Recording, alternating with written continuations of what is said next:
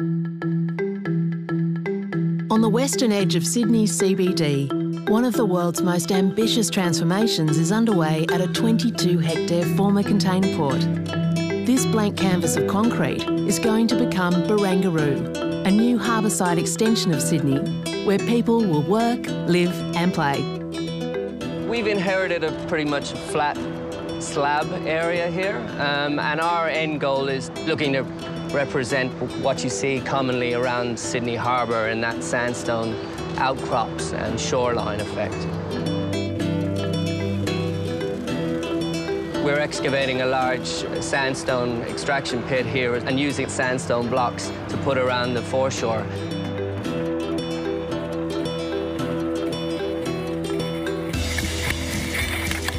We're following very traditional stonemason methodologies. We're using bigger plant and equipment now, quite, you know, up to 60-ton excavators and large 3-metre diameter saws, but we're still using those old techniques. I think where we have deviated away from using the old techniques is the tracking of the blocks and the identification of the blocks. We've developed our Baulderstone inventory application here, which basically allows me to um, add a new item in the case of a, a new uh, block that comes out of the quarry. From here, I can enter in various attributes such as dimensions, its position, its weight, various attributes like that. That all gets then loaded over 3G up onto a central database. Then when we've done that, we'll look at the different attributes of the block. Uh, we'll look at its strength characteristics by, by looking at the veins in it and how strong it looks if there's any visual sign of cracking. We'll do some testing on it. And depending on that, we'll allocate it a final location. Uh, it's almost like a, a paint by numbers um, painting where you've got each block has an individual ID or number, and that's got to be put in the foreshore so that it fits into this jigsaw puzzle. Quite easy for us to go and change heights of blocks and move blocks around. So that allows us to make changes quite quickly.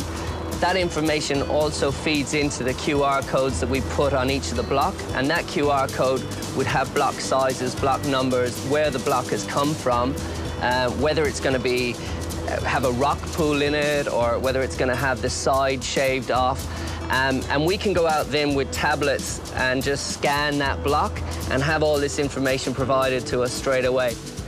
And I guess we're at a lucky point that this technology probably wouldn't have been as readily available five or six years ago. So, you know, with the use of smartphones and, and tablets, it's a lot easier to get that information, and the QR codes are so simple to attach now that um, we're, we're using the best of what's available in the market.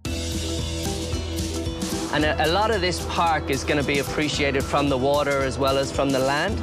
So we often focus on it in terms of the footpaths and, and the interaction with the, the, community and the people in the office buildings and say how fantastic it's going to be for them to have this and people that come in for concerts. But it's also going to be really great for people on the water. And, and it's really trying to represent the sandstone, the natural sandstone that's around Sydney. And this is just another modern slant on, on the way forward and the way we should continue to use sandstone and appreciate sandstone in Sydney.